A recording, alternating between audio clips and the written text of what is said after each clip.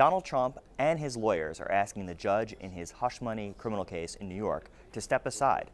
They want Judge Juan Merchan to recuse himself. This is a tactic they've tried before. They accuse Judge Merchan of impropriety in his handling of the case, and they cite donations in small amounts that he made to Democratic causes. They also accuse him of bias because his daughter is a Democratic political consultant.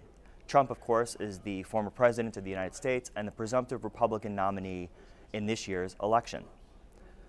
Trump started agitating for recusal on social media last week when he also lashed out at the judge and the judge's daughter, Loren Merchan.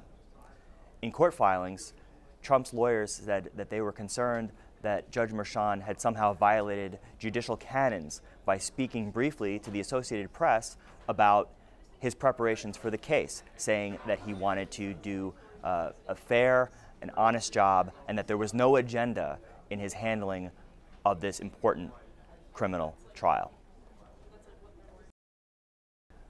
The judge in Donald Trump's hush money criminal case in New York has expanded a gag order the judge says that Donald Trump can no longer make public statements or comments about members of the judge's own family.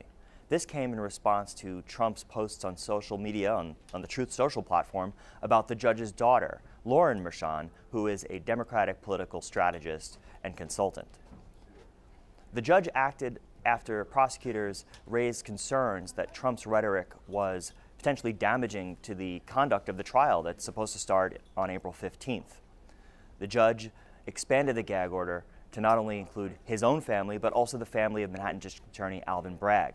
Trump's lawyers have fought this. They say that the judge is restricting Donald Trump's free speech and that he should be allowed to answer the charges and his critics as he campaigns for the White House and defends himself against these criminal charges.